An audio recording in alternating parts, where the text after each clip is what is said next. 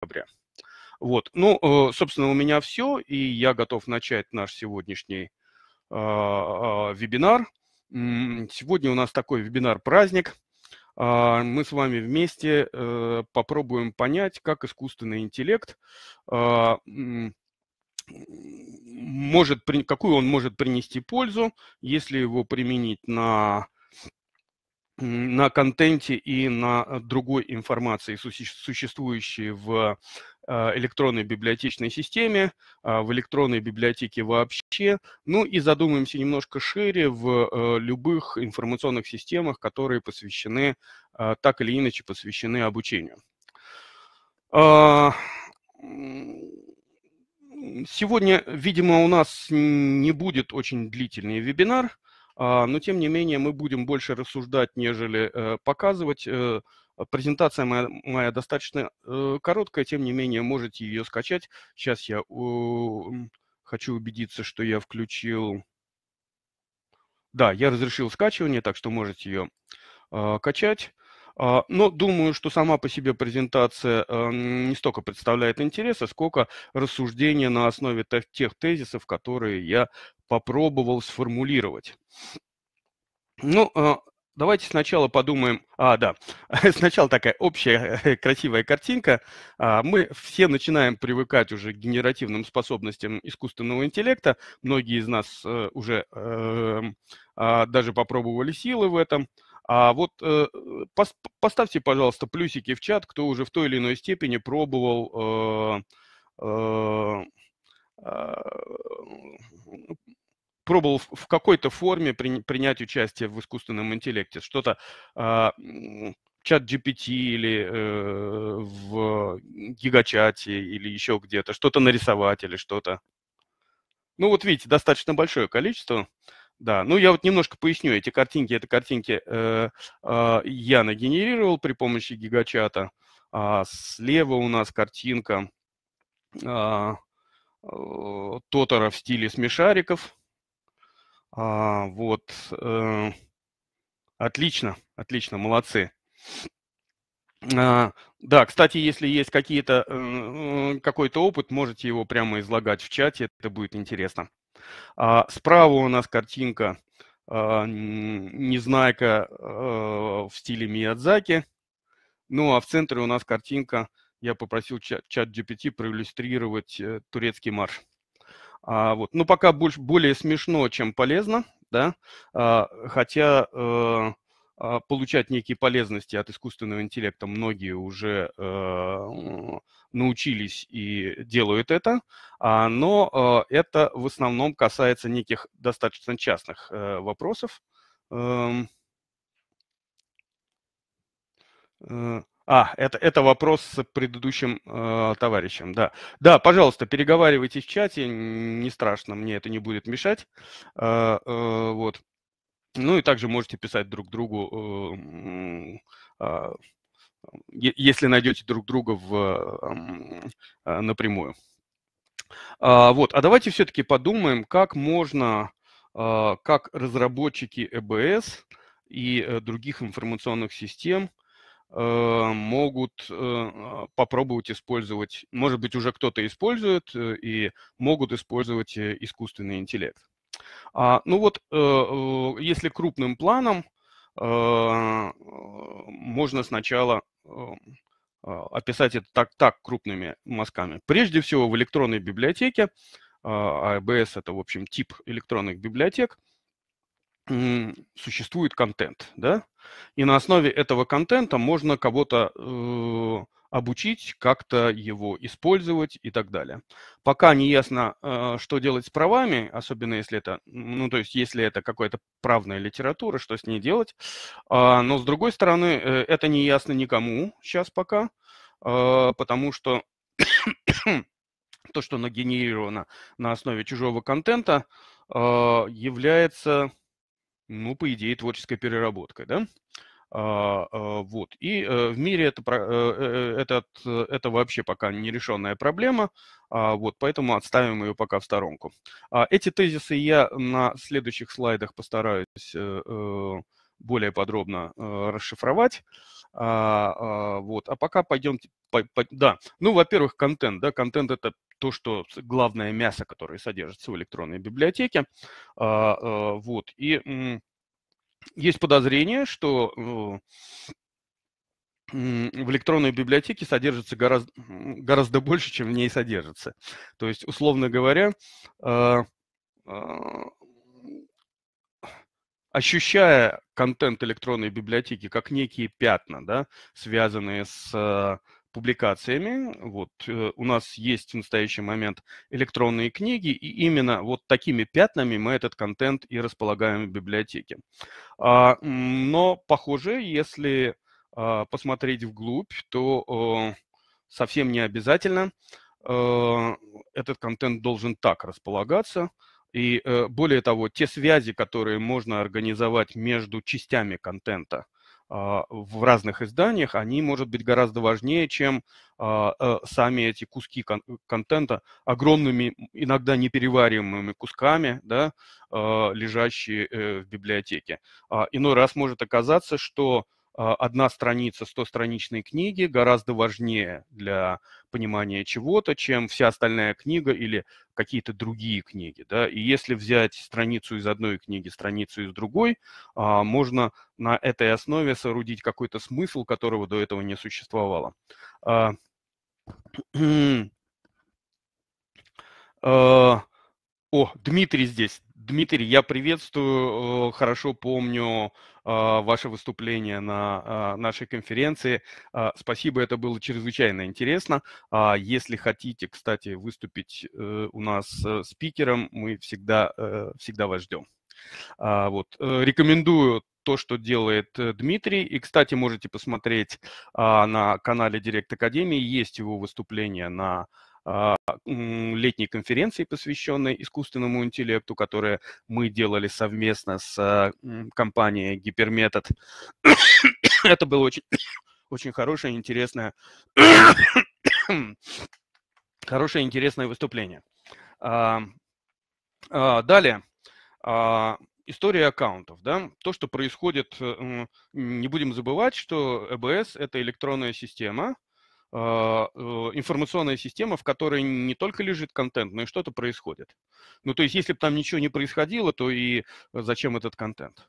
А, контент читают, читают с какой-то периодичностью, а, читают разные люди, люди с разными э, э, ролями в этой информационной системе, читают более активно или менее активно, Какие-то части контента читают э, чаще, какие-то менее часто, какие-то издания читают хорошо, какие-то вообще не читают. А, ну и так далее. И э, история вот всего этого лежит в этой информационной системе. И если она массовая, а в большинстве ЭБС она, конечно, массовая, то из этого можно а, много чего почерпнуть. А, сейчас мы задумаемся над тем, а что, собственно, оттуда можно почерпнуть. А, дальше.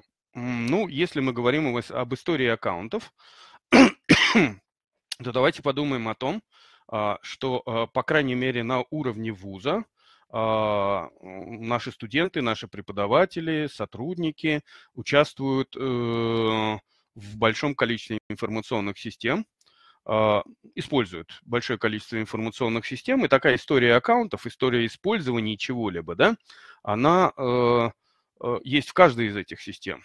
И э, очень э, симпатично было бы посмотреть, что это за перекрестные паттерны, то есть э, существуют ли какие-то корреляции между э, разными информационными системами в разрезах отдельного человека, отдельного пользователя, отдельного э, подразделения, да, может быть, отдельной кафедры, э, отдельной э, людей, которые преподают отдельную дисциплину, а, ну и так далее. Таких паттернов может быть много. И, э, собственно, выдумать эти паттерны – это и есть самое творческое. А, не выдумать эти а, паттерны, а посмотреть, на каких, эм, по каким правилам эти паттерны искать, это и есть одна из самых творческих вещей, которые можно которые требуются от создателей таких э, систем, которые будут эти паттерны проверять. А, далее. ну вот, э, а, кроме того, что в электронной библиотеке лежит контент некий, а, я бы хотел выделить э, а, отдельный иллюстративный ряд из этих изданий как совершенно отдельную сущность.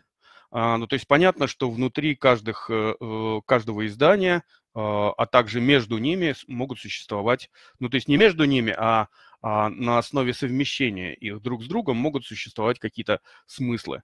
А, но вот э, иллюстративный ряд – это тот смысл, который просто лежит на поверхности, и он уже чисто версткой и своим внешним видом выделен в отдельное, нечто отдельное, а, отдельное какой-то, отдельный смысл какой-то, да. И понятно, что вот на основе этого можно много чего понять и э, много чего сделать.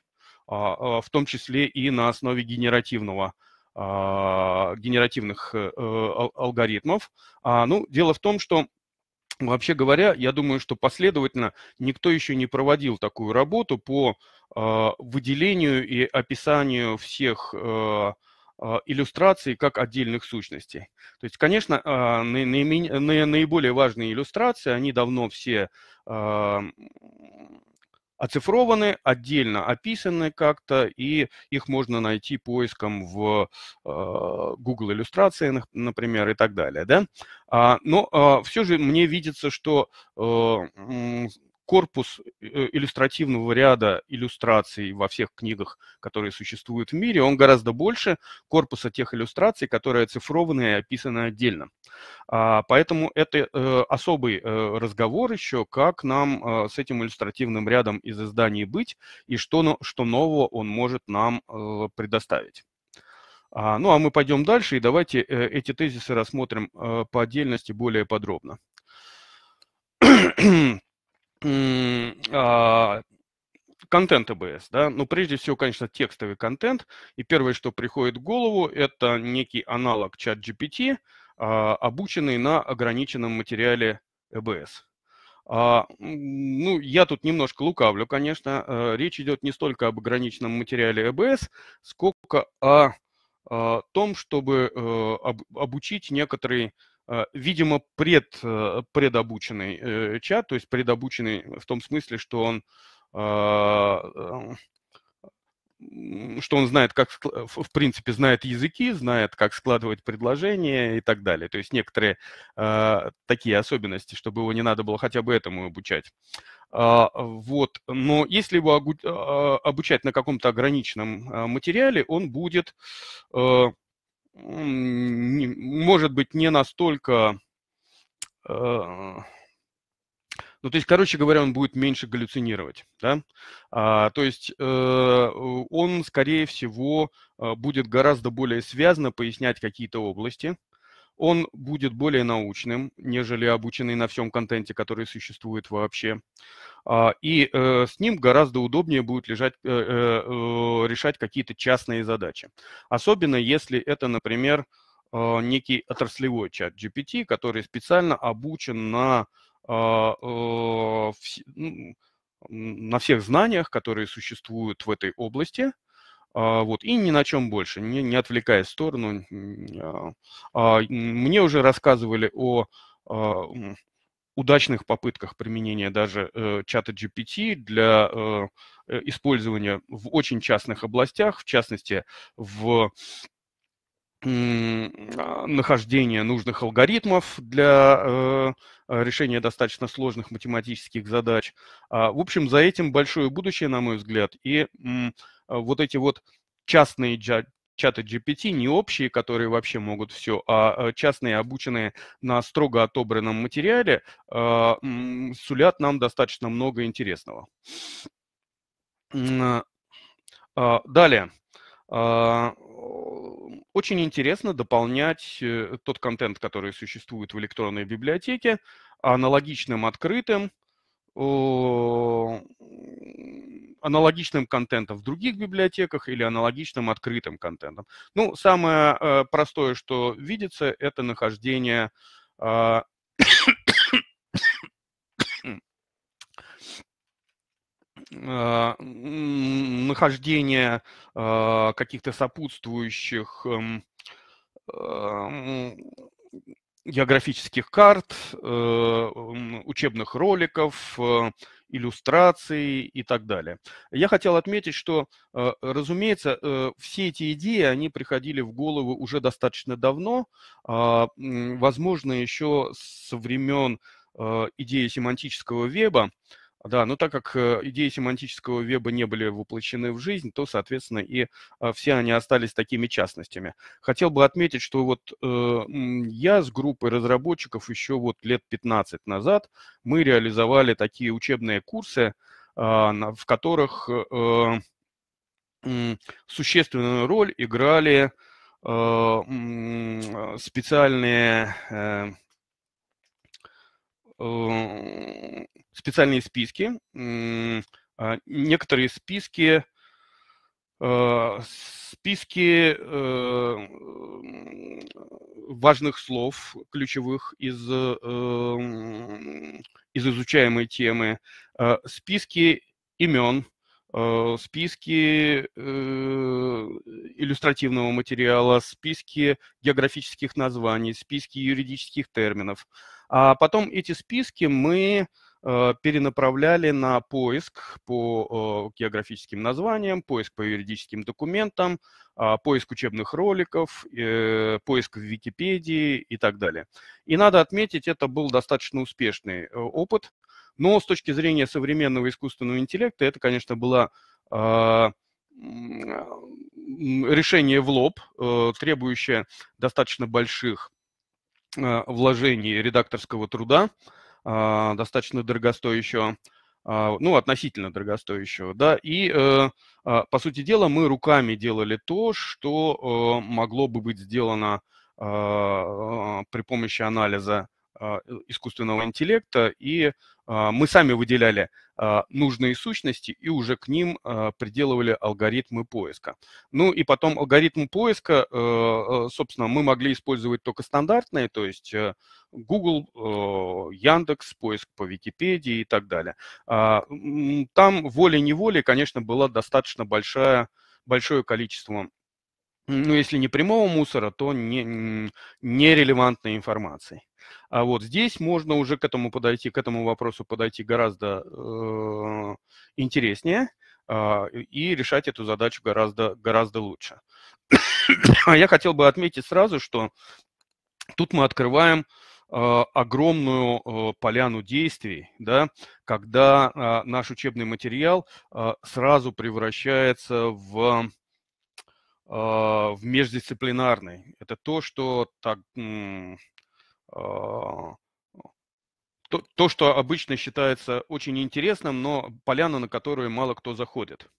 А, вот, потому что когда мы находим аналогич... некие аналогичные вещи в других а, в других науках, например, да, то поставить, э, сделать корреляции между этими, это очень-очень-очень полезно. Ну вот, например, посмотреть там, у меня был пример вот еще из той э, древней истории, да, когда а, мы делали эти курсы, про Наполеона, да, например, э, посмотреть Наполеона э, в смысле истории – это одно дело, а посмотреть Наполеона в смысле военной, э, военного искусства – это другое дело, а посмотреть его как политика, как государственного деятеля и как экономиста – это Третье дело, и совместить все это вместе, а, это очень полезно, потому что э, э, знание получается э, а, комплексным, а, вот, и ни к, ни к одному предмету на, а, напрямую это не принадлежит знание комплексное, да, но оно достаточно ценно. И э, вот такие достаточно ценные вещи, они э, всплывают автоматически, когда мы начинаем а, искать аналогичный и дополняющий контент. Вот, вот такой вот долгий э, получился пункт у нас. Дальше. А, переход от единиц контента изданий к единицам смысла. Да? Ну, то есть понятно, что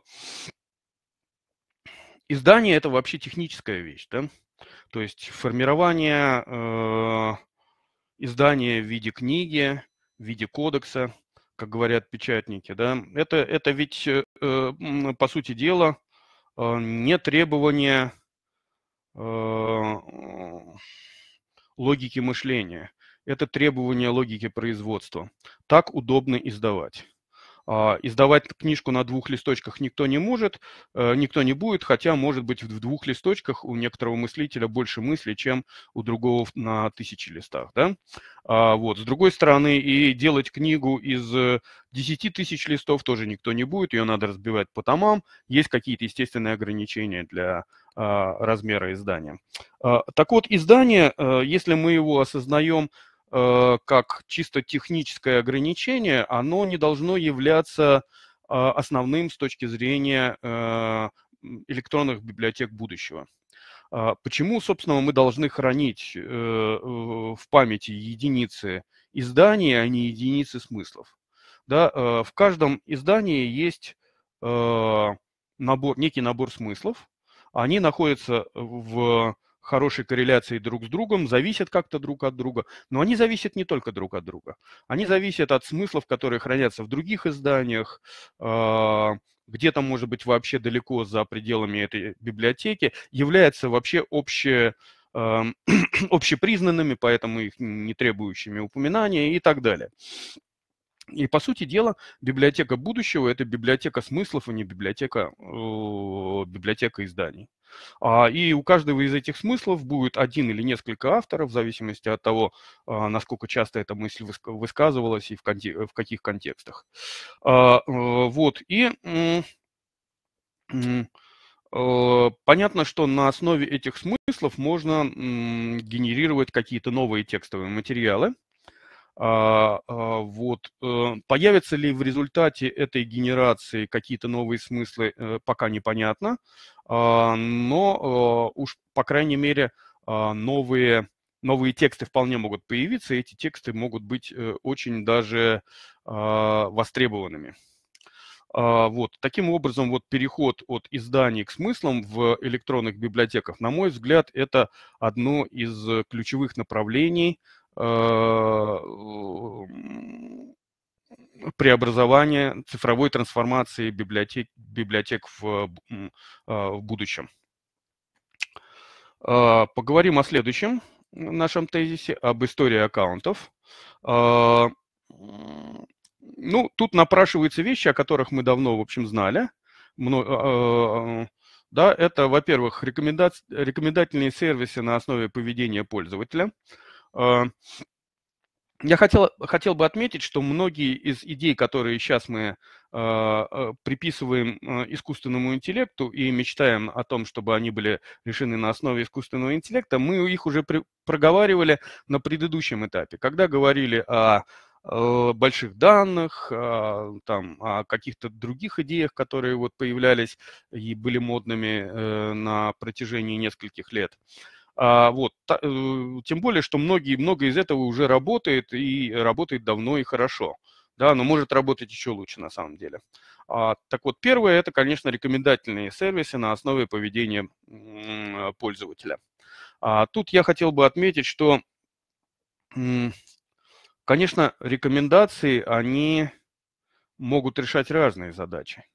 А, ну вот, например, рекомендации в книжных магазинах, они решают задачу э, повышения прибыли этого магазина. И, соответственно, вам а, вместе с учебником математики могут э, порекомендовать э, а, какой-нибудь бестселлер, просто потому что вот, ну, оказывается, что математики именно этот бестселлер чаще покупают. Решает ли это задачу Э, задачи обучения или там какие-то задачи электронных библиотек, скорее всего, нет. А, вот, там могут быть другие рекомендации, связанные с тем, что вот ты почитал это, а тебе для развития это лучше почитать еще вот это. Может быть, э, то, о чем ты э, еще и не предполагал. Или наоборот, ты взялся за слишком сложную книжку, она тебе показалась сложной. Но а, это хорошая книжка, просто тебе надо сначала почитать вот это вот. Э, и после этого тебе эта книжка уже покажется достаточно легкой, и ты сможешь ее, наконец, э, прочесть в полном объеме нормально. А, вот о каких рекомендациях идет речь. Да? Вот. Есть ли это рекомендации в истории аккаунтов? Ну и да, и нет. Конечно, иногда при э, достаточно скудной истории для каждого человека а, не так-то много шансов выловить там что-то существенное. А с другой стороны, если даже при скудности э, неких движений истории аккаунтов для одного человека мы имеем огромное Э, огромную историю аккаунтов вообще, а, то чем больше мы таких, такой истории имеем, тем а, быстрее мы можем сделать предсказания для человека буквально по первым двум трем шагам, которые он делает в электронной библиотеке. А вот, вот это мы примерно ждем от рекомендательных сервисов, которые будут нас сопровождать в, буд в электронных библиотеках будущее, будущего. Далее, а, рекомендации поведения, подсказки, э, семафоры. Ну вот насчет семафора я уже немножко сказал. А, под семафорами я подразумеваю некие развилки в, а, в обучении человека. Ну и если не в обучении, то в его самообучении, в его просвещении, да, когда мы по его поведенческим реакциям понимаем, что ему сейчас более полезно. А, вот, э, может быть, э, исходя, не имея этой информации, мы, скажем, показали бы сейчас ему такой обучающий ролик, а имея эту информацию, мы покажем совсем другой обучающий ролик, вот, и он его, э, ну, скажем так, сдвинет с места гораздо в, в лучшей, в лучшей степени. А, а, под рекомендациями поведения можно подразумевать Э, рекомендации а, не только контекстные, да, но и рекомендации, скажем, а, более глубоко э, а, учебные рекомендации, скажем так. Вы сейчас э, изучаете вот такую вот дисциплину или находитесь на таком-то, на такой-то учебной программе, исходя из ваших интересов в электронной библиотеке, мы бы вам советовали обратить внимание еще вот на это на этот вид деятельности, возможно, он вам э, тоже покажется интересным в каком-то смысле. А может быть, вы даже и э, захотите получить второе образование, скажем так. А, дальше. Понятно, что э, вся эта информация, она интересна не только кон конкретным людям, но и, например, вузам. И э, вузы, имея а, при себе а, э, вот эти вот информации о предпочтениях своих студентов, а, они могли бы из них извлекать какие-то не личные, а обобщенные паттерны, связанные с тем, что быть может, они выделили какую-то полезную информацию, которая полезна всем.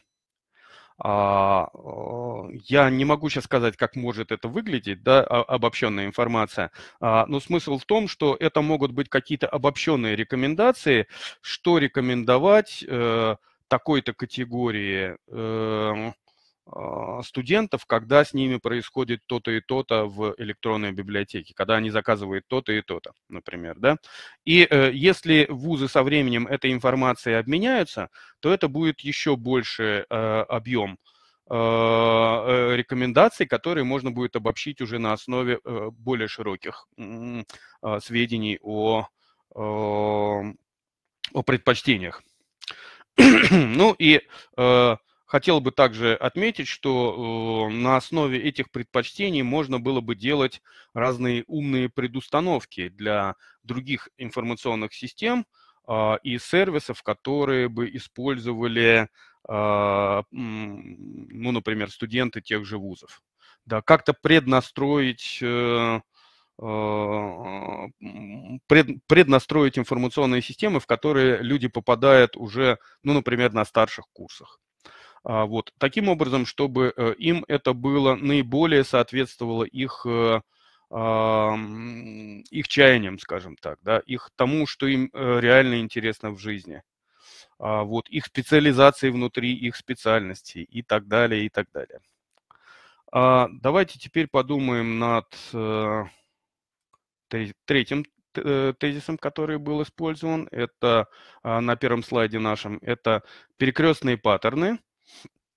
То есть э, паттерны на основе рекомендаций из разных информационных систем, не только из электронной библиотеки. Ну,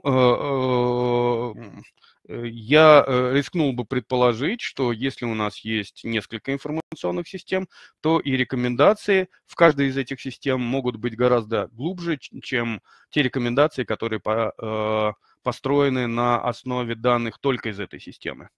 А, я пока не понимаю, как это сделать, но ясно, что какие-то корреляции, корреляции есть, их надо изучать, и они наверняка будут полезными. А, в частности, а, я вижу здесь э, э, интерес в том, чтобы тонким образом подгонять, под, под, подгонять э, под слушателя контент и измерительные материалы какие-то, чтобы, скажем, при, уже при создании тестовых материалов а, мы исходили бы из неких обобщенных э, паттернов, которые нам известны из э, разных информационных систем, включая, конечно, и а, электронные библиотечные системы. А, что я мог бы тут э, предположить? Да? Одним из самых трудоемких Э,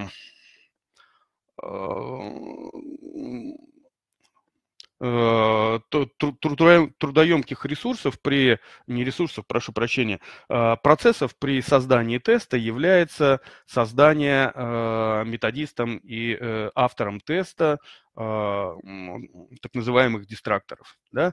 Дистракторы это, напомню вам, это неправильные, но правдоподобные ответы.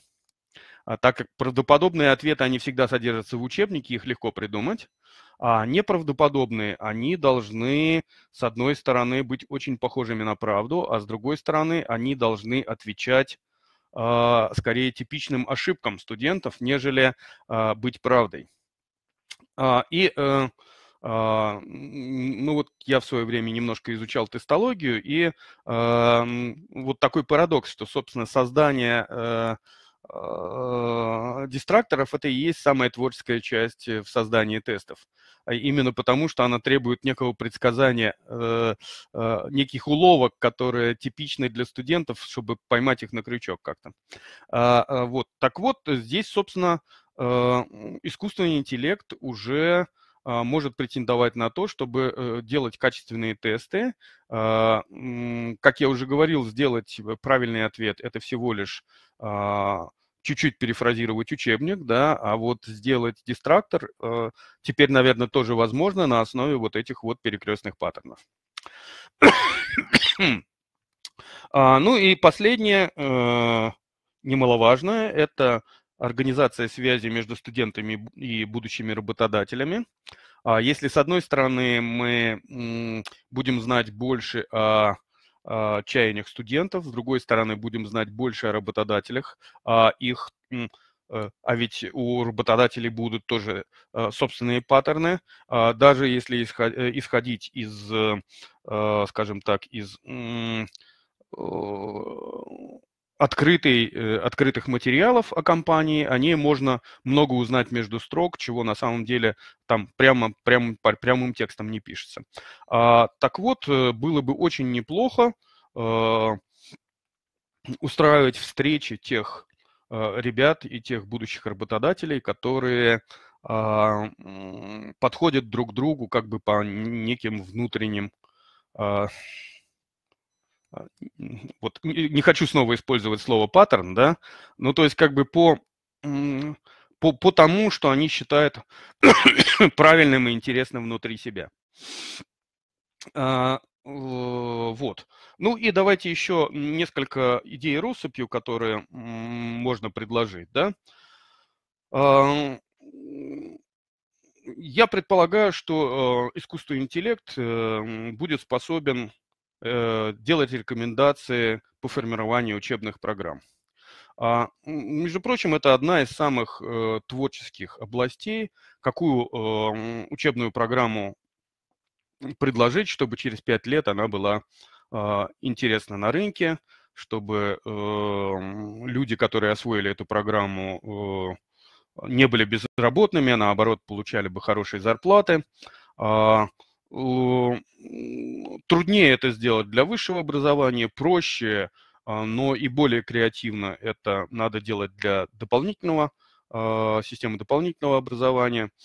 А, вот. Э, более того, вот как человек, который э, возглавляет э, онлайн-школу, я считаю, что формирование учебных программ таких, которые продадутся, и таких, которые э, действительно нужны людям, это э, самая креативная, самая творческая часть э, моей деятельности. Вот. Э, я вижу здесь, что сведения из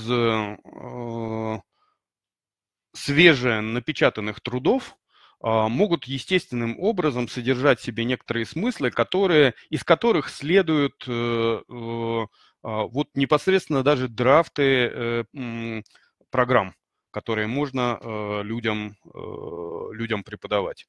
Просто мы еще этого не видим.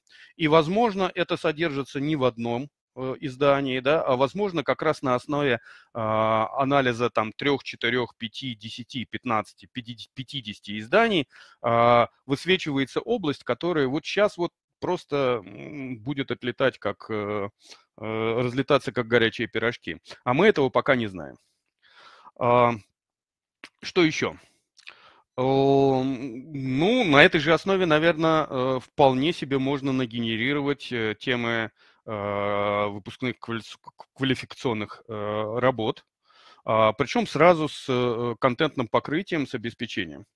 А, то есть понятно, что удобнее всего из года в год э, тянуть одну и ту же э, вереницу а, тем, а, но для студентов более релевантным будет, если они могут э, в этом году взяться за тему, которая в этом году и является интересной. Да? Вот. Обычно проблема в том, что на основе каких то есть что, что возьмет этот студент для какого, какой у него будет сопутствующий материал, как он может выполнить работу, если этого еще нигде нет. А вот если это уже везде есть, и искусственный интеллект выделил этот контент из груды материалов, то это будет уже э, достаточным подспорьем для того, чтобы помочь и руководителю э, возглавить эту работу, и студенту, э, чтобы ее э, сделать. Ну и последнее мой, э, мое предположение, это э, тоже идея достаточно старая, но в свете э, искусственного интеллекта преоблада... приобретающий некий новый смысл. Да, это корректировка траектории обучения на основе э, а, неких сведений о том, а, как этот человек, э, а, что этот человек делает. Да?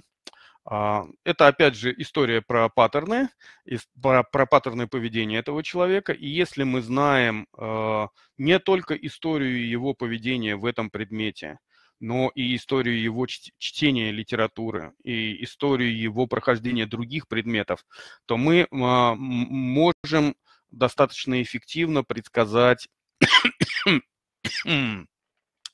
а, э, предсказать э, его результат и откорректировать, если этот результат недостаточно хорош. И тут есть вот такой вот промежуточный момент, э, который, в общем-то, и обуславливает использование именно искусственного интеллекта в этом адаптивном обучении это э, улавливание сотен мелких факторов, влияющих на успеваемость. А, а, мы, э, люди, скажем так, с неким э, ограниченным, эм, не хотелось бы говорить ограниченным мышлением, а, скажем так, а, люди не способны охватить сразу многое количество факторов и пытающиеся применить факторный анализ вот прямо вот здесь и сейчас, свести все к единой а, к единой причине или в крайнем случае к двум-трем причинам, да, это нам свойственно, людям свойственно просто вот а, по, по нашей сущности. Мы так ведем себя и в политике, и в да, в любых других областях. Вот укажи нам обязательно одного единственного э, э, человека, который виноват, и укажи нам одну единственную причину, почему это случилось. Да? Почему у нас такое недовольство было, например, по поводу выводов комиссии, там, например, об происшествии на, о катастрофе на Чернобыльской АЭС. Ну, потому что там прямо показано, что сошлись очень много разных мелких причин в одно, в одно единственное целое, и поэтому э, все это произошло. Начиная от коренных э, причин, связанных с передачем э, с передачей э, атомных электростанций из-под эгиды Средмаша в эгиду э, Министерства энергетики, э, э, кончая такими мелочами, как э, личные качества э, членов смены, которые принимала участие в этом эксперименте дурацком, который проводился. Да? Людям это непонятно. То есть люди хотят получить одну единственную причину. А, и в этом их ограниченность их мышления. А на самом деле все серьезные процессы, которые происходят в обществе, там, в в серьезных э, сложных физических системах, а обучение – это столь же сложная система, да, они состоят из сотен мелких факторов, которые вот так вот друг с другом а, как-то коррелируют и вызывают э, а, совершенно неожиданные, э, неожиданные вещи. Вот нахождение этих факторов, учет их и подстройка под них, на мой взгляд, это и есть тот вклад, который искусственный интеллект мог бы внести в давно развивающаяся область э, эм, адаптивного обучения. И э, именно тогда это адаптивное обучение станет действительно адаптивным, а не разговорами об адаптивном обучении, как это происходило последние, вот на моей памяти, уже 20 или 30 лет. Вот, это, наверное, последняя идея, которую я хотел бы, с которой... А, нет, вот еще одна идея интересная, да? А, последняя, прошу прощения, я вот э, этот слайд добавил уже накануне, и поэтому о нем забыл. А, это очень хотелось бы, чтобы э, чат GPT для обучения превратился бы в чат GPT наоборот. То есть никогда э, человек задает условному искусственному своему компоненту какие-то вопросы и пытается из него чего-то извлечь. А наоборот, когда э, э, с тобой говорит как бы э, некий генеративный э, наставник, и пытается тебе задавать вопросы и вылавливать из твоих ответов некоторые несоответствия э, и логические противоречия и предъявлять их потом тебе. Да? То есть э, некий сократовский диалог э, наоборот, когда э, точнее не наоборот, а новый, да, когда у нас э, таким вот предъявителем э, вопросов становится искусственный интеллект на основе э, э, того, что он э, знает и умеет. Вот, я думаю, что до этого как раз дойдет не очень скоро, но это то, к чему хотелось бы стремиться, потому что это даст нам замечательные возможности по, а, как это сказать, по а,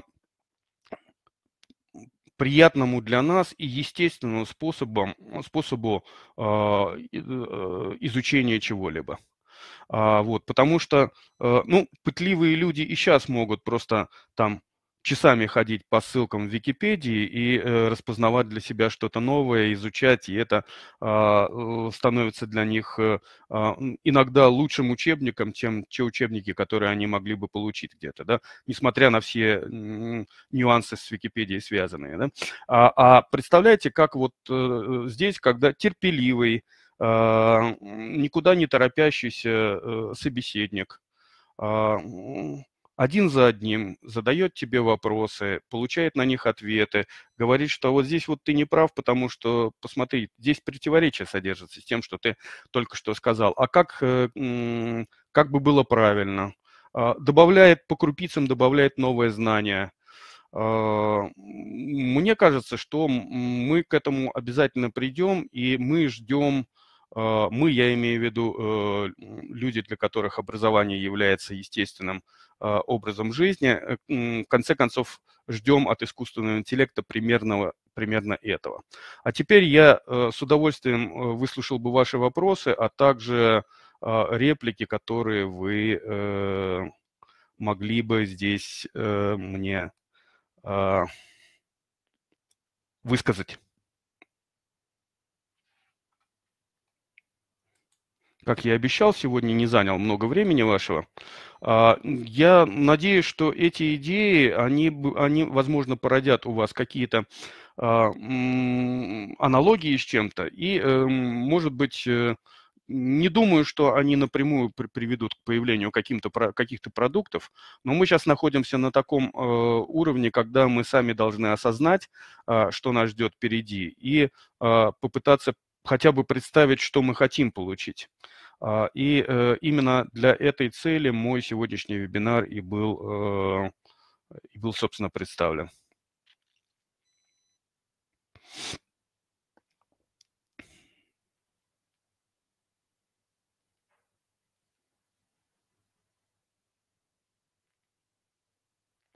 А, ну что ж, коллеги, и вам спасибо. Я смотрю, э, диалог внутри у нас состоялся. Спасибо тем, кто свои ссылки поместил. Я обязательно по ним схожу и посмотрю. Вот прямо сейчас щелкаю, с тем, чтобы не пропустить.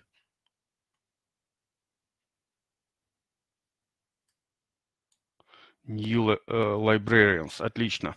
А, буду смотреть, что у вас э, происходит в вашем канале. Так, сейчас мне надо вернуться в вебинар.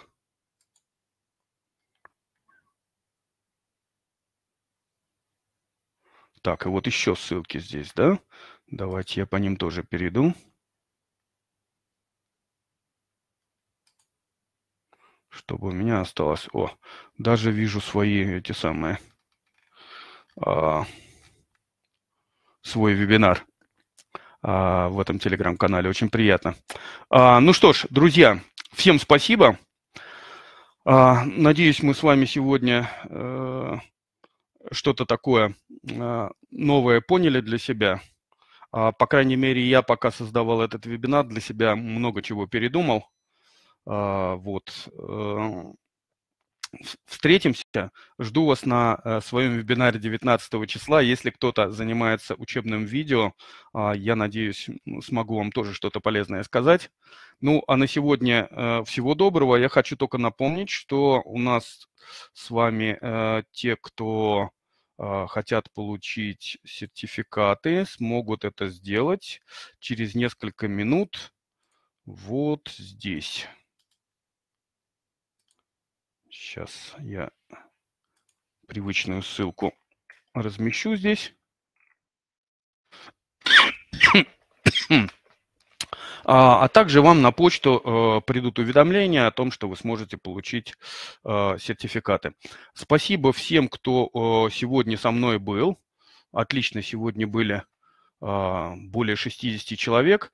Э, тема искусственного интеллекта нас не отпускает. Я смотрю, э, практически в каждой онлайн-школе. Она в том, в том или ином смысле возникает. И у нас уже зреет план э, сделать курс на эту тему. Ну, собственно, план давно созрел, надо э, его наполнять. Э, остались некоторые технические сложности, которые а, нам мешают, а мы уже давно созрели для того, чтобы этот курс для преподавателей сделать. И даже предложение от нескольких авторов поступает. Так что э, ждите, смотрите, у нас обязательно это в ближайшее время появится. А, ну, если не в ближайшее время, то в перспективе нескольких месяцев, я думаю. Да. А, Дмитрий, заметано, да. обращусь э, в ближайшее время. А, вот. Ну что ж, всего вам доброго тогда. А, до новых встреч в Директ Академии.